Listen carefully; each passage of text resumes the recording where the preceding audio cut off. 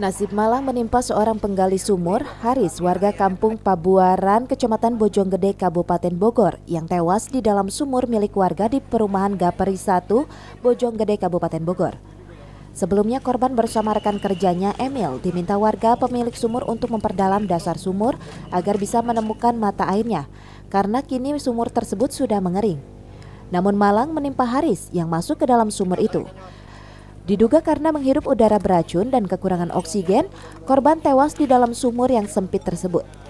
Sehingga setelah Emil meminta bantuan dan pertolongan, tim SAR BPBD Kabupaten Bogor yang tiba di lokasi langsung berupaya mengevakuasi jasad korban yang sudah tidak bernyawa.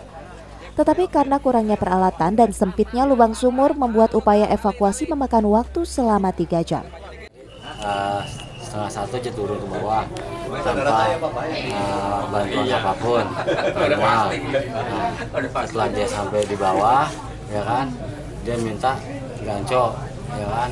Habis minta ganco, dia langsung minta uh, apa kalau kayak uh, kayak orang pingsan begitu, ah ah begitu. Nah terusnya saya nyari bantuan, saya sempat sempat terak-terakin dia, Bang Aris, Bang Aris, Bang Aris, Bang Aris, Bang Aris gitu. Bang Aris, Bang Aris. Nah, saya minta bantuan keluar sama orang proyek. Kegali sumur, di dalam sumur ada gas beracun yang menghirup gas beracun. Tadi kira-kira setengah satuan kami dapat laporan ada orang kecebur sumur. Terus uh, korban sendiri uh, kondisinya gimana bang? Korban sendiri kondisinya sekarang meninggal dunia karena kebanyakan setelah berhasil dievakuasi, mayat korban segera dibawa ke rumah sakit terdekat, sedangkan kasusnya ditangani kepolisian Polsek Bojonggede.